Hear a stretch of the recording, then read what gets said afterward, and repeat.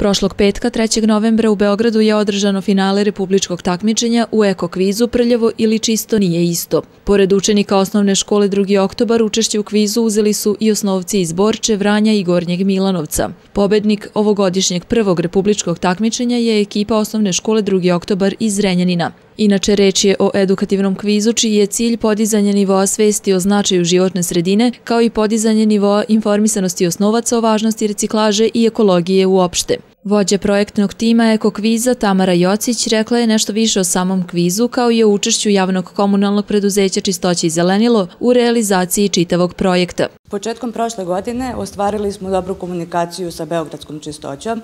Naše preduzeće je na jednom od sastanaka dogovorilo sa predsednicima Beogradske čistoće da krenemo sa njima zajedno u priču pod nazivom projekta Eko kviz, odnosno prljavo ili čisto nije isto.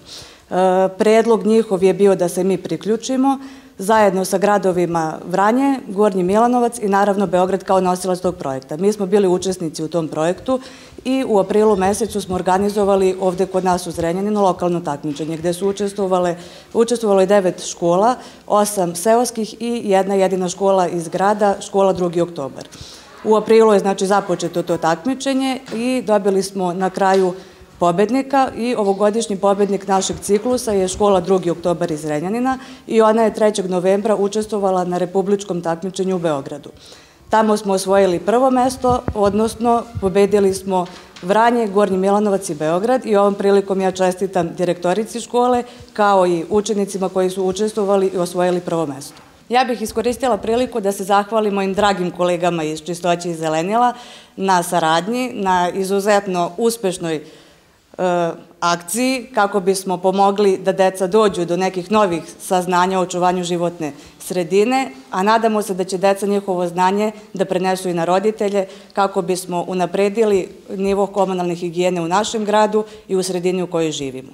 Takođe se zahvaljujem i predstavnicima Beogradske čistoće na podršci i na prihvatanju da budemo deo njihovog projekta i nadam se da će ova saradnja trajati i dugi niz godina. Direktorka osnovne škole 2. oktobar Sanja Gerbeš osvrnula se na pripreme pobedničke ekipe u ekokvizu Prljavo ili čisto nije isto.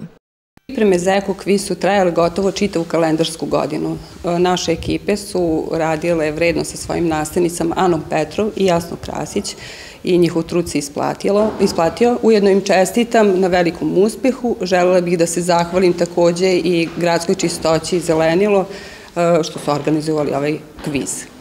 Ekipu koja je osvojila prvo mesto u Beogradu činili su Nikola Bjelica, Katarina Jahura, Sara Tapaj i Boris Bulovan. Prenosimo njihove utiske sa priprema ekipe kao i utiske o samom takmičenju.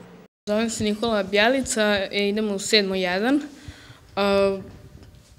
Pa takmičenje traje od, od e, proleća ove godine i što se tiče igara, e, bacili smo čepove, gađali limenke i vežbali smo pitanja, dosta učili smo pa sad pitanja koja smo izvukli, izvukli smo i, i slagali smo reči. Pripreme su trajale baš dugo, od samog početka takmičenja, e, za prvo za to opštinsko, a sada i za republičko, od septembra se spremamo za republičko.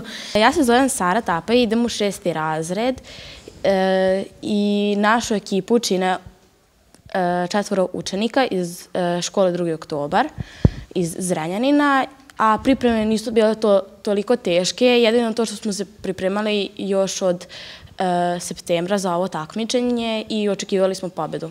Najlakše mi je bila prva igra kad, kad smo sakupljali e, papir, plastiku i ove limenke, a najteže mi je bilo čepovi zato što meni precizno baš i ne ide.